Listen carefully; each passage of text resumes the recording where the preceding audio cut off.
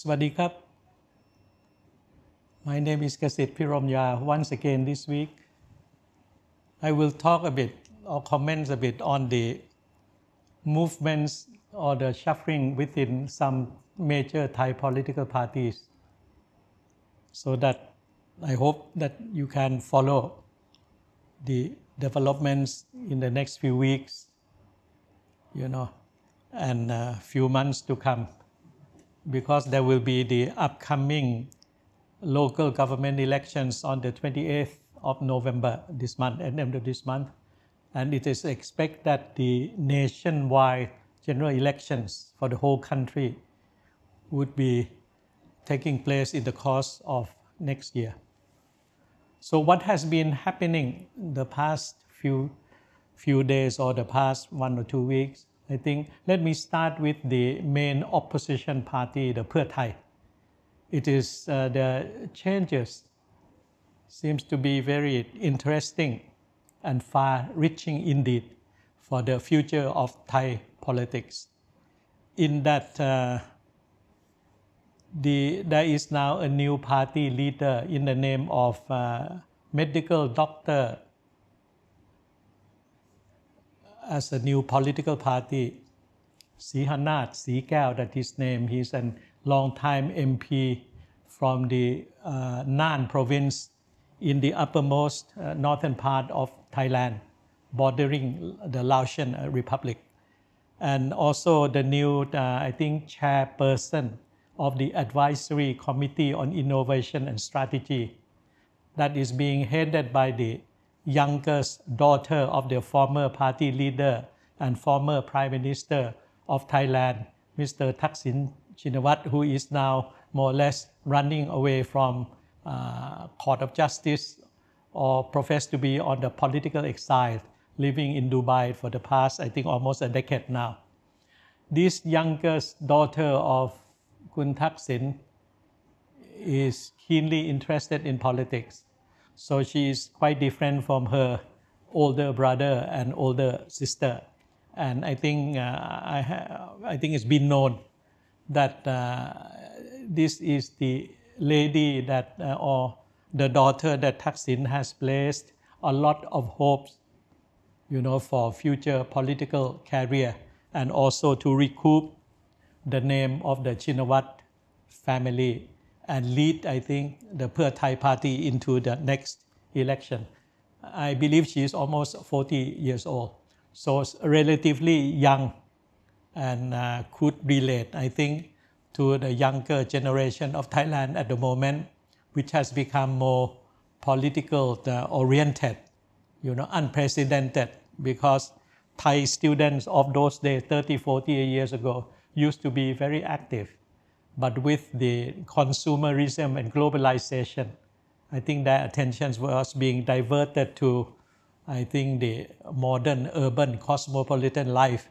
But I think because of the past uh, almost 10 years of coup d'etats in Thailand, and I think a lot of uh, curtailment of freedom and so on, and the advent of the social media and the internet, information has been coming right to the very uh, what you call hand and heart of the younger generation, and that I think uh, has induced political interest or the interest in the affairs of, of the state. So with the young, you know, member of the Pheu Thai party to lead the Pheu Thai party, a lady, okay, it would be very interesting indeed for the next uh, elections and the fight who will become the next prime minister of Thailand. I, I would not be surprised if the youngest uh, daughter of uh, former prime minister Thaksin Shinawat, her nickname is Ung Ing, would be fielded by the Pheu Thai party as the candidate for the premiership. Okay, let's leave it to that.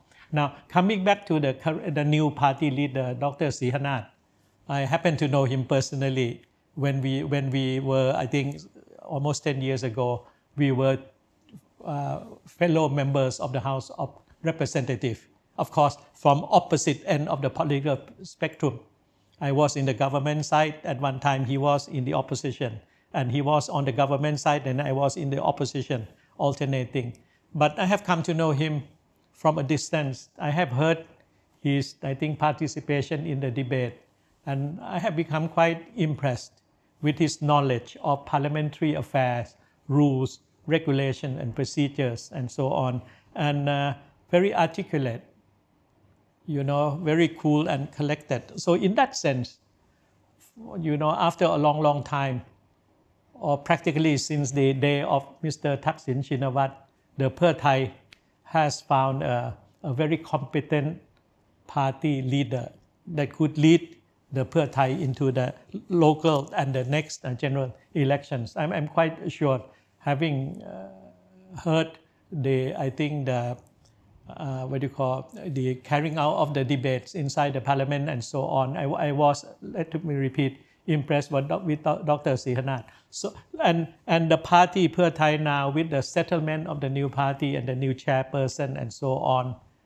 and the change of, I think, the guards, they look to be more united, more, I think, purposeful. And the populist policy measures of Mr. Thaksin Shinawat in terms of uh, 30 baht for uh, medical examination, you know, and so on. The I think guarantee of the uh, commodities or the agricultural prices, the caring on for the uh, the grassroots people and the masses and so on, still somewhat captured the hearts and mind of the masses of Thailand. So they're going to be very formidable for in the political arena for the next year's general elections because the policy measures are still alive in the hearts and mind. Second, they have a new party leader that's very much well versed in the parliamentary uh, system and also knowledgeable in the affairs of the state and an attractive uh, chairperson, you know, a young lady, well educated, uh, richly endowed, and very determined to do something for the party and for the family reputation. So rest the Pheu Thai aside and move a bit to the uh, the government side, the Palang Pracharat party, which just had the general meeting up in Khon Kaen province a few days ago. No changes. It's a, start, a status uh, quo situation. But underneath that is that differences party infighting and the undercurrents and so on. The problem is that the party is dependent on the current prime minister to be in the government. And the prime minister, namely General Prayut Chan Ocha, has to be dependent on the party in order to attain the support inside the parliament or to retain the majority. But there was an incident early in September at the censure motion debate in the parliament, there was movement within the Palang Pracharat party led by its secretary general by the name of uh, Mr. Thamanat that wanted to bring down General Prayut Chan Ocha. It's like a black blackmail type of situation and so on that irked General Prayut Chan Ocha. So he removed Mr. Thamanat from the post of Deputy Minister of Agriculture and Cooperatives. But it's a strange bedfellow because General Prayut today doesn't speak to Kun Thamanat and vice versa. Both of them are dependent on each other in order to survive and lead the coalition government. And I think there's a Thai saying that they will not go to each other's funeral. Okay? So in that sense, the, skit, the, the split is quite permanent and could not be reconciled.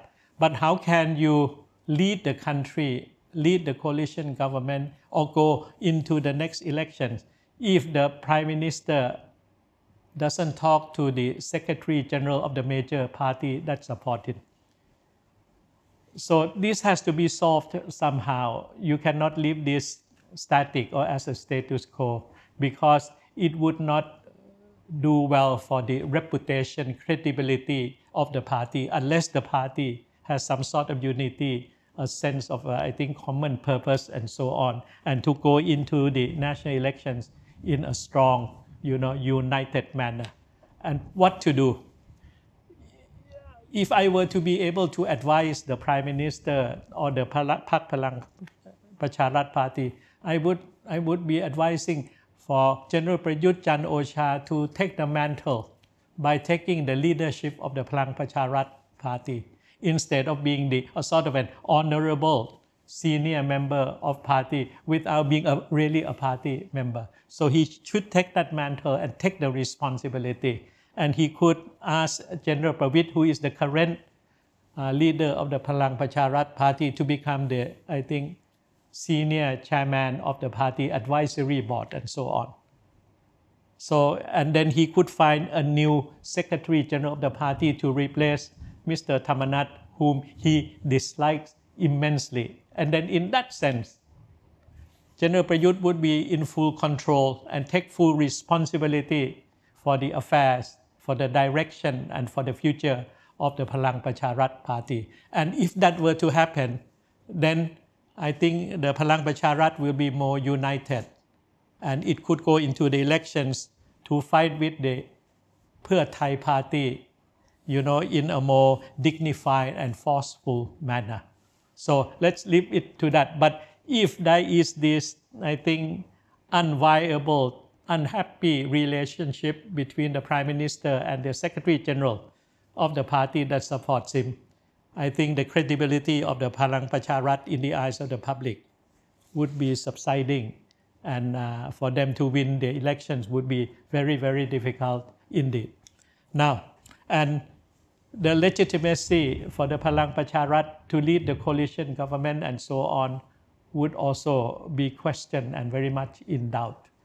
So it, I think from my point of view, it rests on the, I think, decisiveness of General Prayut to take the full responsibility for the party affairs and for the party to, I think, lead the country into the next elections and so on.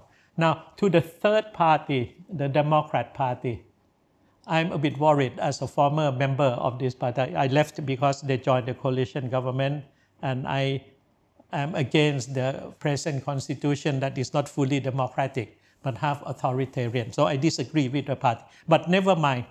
Being a former member, of course, there is always that lingering concern and the attachment. And so far, there has been so much infighting inside the Democrat Party. And many of the senior and prominent members of the Democrat Party have been leaving the party. So the party is quite crippled, not fully strong, not fully united. Then, if I were to be given the chance to advise the party, what would I do? I would advise that the three former party leaders, namely Mr. Chuan Leekpai, who is now the Speaker of the House, you know, a two-time Prime Minister of Thailand, a second-time Speaker of the House, and Kun Banyat Bantadtan, a former leader of the party, leading the opposition, you know, at the time when Kun uh, Thaksin Shinawat was still the Prime Minister. And then uh, Kun Abhisit Vejjajiva, the most recent party leader, which uh, I think ran the government in the 2008 to 2011, okay, before the Yingluck government. I think the three senior members of the Democratic parties and former party leaders and senior members of the government, two of them were prime minister, Kun Abhisit and Kun Chuan. Kun Banyat was deputy prime minister and minister of interior and so on. they should get together and talk about the party reform and restructuring and take the lead in allowing the younger members and so on to take more responsibility. But the Democrat Party needs reform. Okay, without that, I think they they will be losing more and more of the seats. They will become a small party and more insignificant into the years to come. The fourth party that I would like to mention is the Future Forward, the new party in the opposition at the moment, composed of many young uh, people, well-to-do, well-educated, and quite ideologically oriented, and so on. But I think uh, they had been too confrontational. They only come out to say, "This is what I don't like," but so far they have not been able to offer to the people or to explain exactly what is it in the Thai political life that they do not like and what they do not like what are the offer what are the alternatives that they would like to do for the country. So it's not simply to be negative against something but they have to be positive in offering something for the future direction of the Thai kingdom okay? Then the other the fifth one is the Bhumjaithai party. They have more than 50 seats. They have a lot of money. I think they could you know draw up uh, bring in many of the well seasoned politicians with the short seats and so on. They could get 70 to 80 seats in the next election but they are a party of uh, vested interest no ideological commitment and yet the leader of the party namely kun anutin is foreign educated come from one of the richest family in the construction business of Thailand. But so far, as a deputy prime minister and minister of health in the present Prayut's government, for the past two years, he has not been saying anything worth listening or remembering. As if that his exposure to globalization and to the international scene and his endowment with wealth and uh, experiences in the construction uh, business, you know, big conglomerate, and so on, and uh, highly educated abroad. It doesn't seem to get put into him to become visionary and more ideologically committed. It's a big uh, disappointment, you know. So he is a party that just want to join any coalition government to have the cabinet post but not to try to attempt to change Thailand to become more democratic, more a sort of an egalitarian uh, society, and so on. So these are the major five parties of Thailand, and uh, by the look of it, the Pheu Thai party will likely win the next election with the most seats in the House of Representatives. Okay, but even if they have the majority in the House of Representatives, it's not automatic that one of their leaders will become the prime minister because the, they need the votes in the upper house in the Senate. But the upper house of the Senate is more or less uh, controlled by the military establishment and by extension by General Prayut Chan Ocha. So all the senators more or less uh, owe their seat and their nomination to General Prayut Chan Ocha, and I don't think they could betray him. For the next elections and so on, the 250 of them would have to vote for General Prayut, and General Prayut needs another 100, 150 seats in the House of Representatives to have the majority of votes of both houses to become again the next Prime Minister of Thailand. So this is what the situation is, but uh, hopefully that every political party, every leaders of the parties will pause a bit and think about the common good of the country and lessen a bit their personal ambition and their adherence to the vested interest of their own entourage and their own, I think, interest groups and so on. So thank you very much. See you sometime next week.